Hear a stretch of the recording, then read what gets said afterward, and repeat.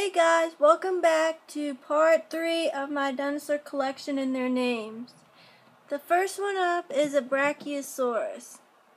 I named it Blossom.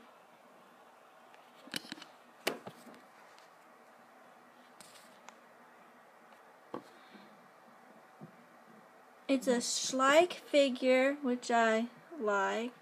I love the color of it. It is also heavy.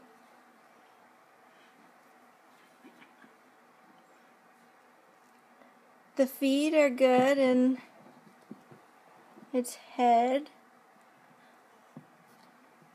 Really love the color. My next one up is Littlefoot, I named it. I got it from Walmart. I love the colors. Which you can't see all of it. It's purple and black. I love the colors. And the foot feet is okay.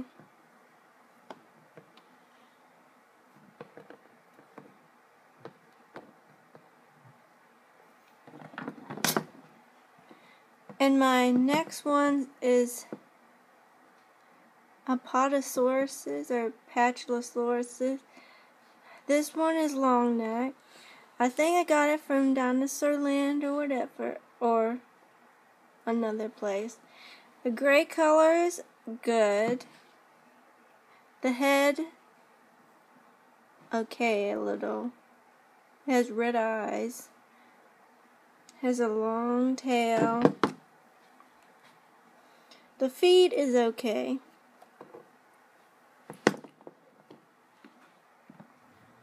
My next one is a a, a or a Potosaurus.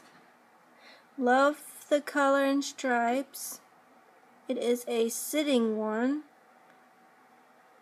The feed is okay. Looks like it's going to lay eggs. I got it from Walmart.